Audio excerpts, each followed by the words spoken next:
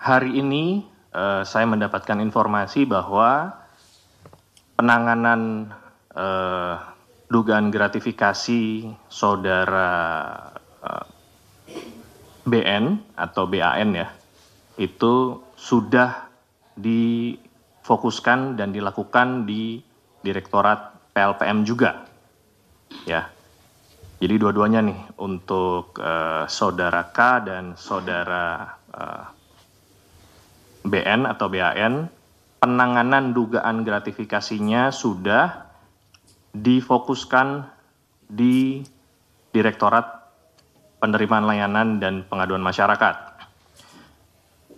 Uh, Direktorat gratifikasi dalam hal ini di bawah Kedeputian Pencegahan membantu semua bahan-bahan yang sudah masuk ke Direktorat PLPM.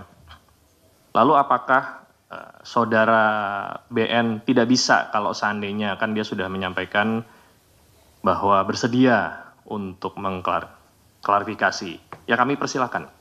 Uh, di beberapa kesempatan juga uh, baik saya maupun pimpinan sudah menyampaikan silahkan menyampaikan klarifikasi uh, melalui uh, website go.kpk.go.id atau hadir langsung ke KPK, silakan saja. Artinya uh, pada saat penanganan dugaan gratifikasi itu ditangani oleh Direktorat PLPM, dua-duanya saudara K dan saudara BN atau BAN bisa tetap mengklarifikasi melalui website yang tadi saya sampaikan atau datang sendiri.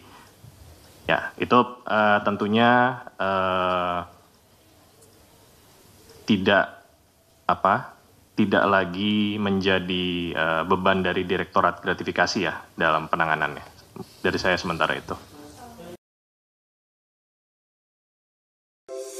Di antara banyak sumber informasi, kami layak dipercaya. Karena kami menggali lebih dalam, berpihak pada kebenaran, berpegang pada data dan fakta, agar layak Anda jadikan referensi. Kompas TV, independen, terpercaya.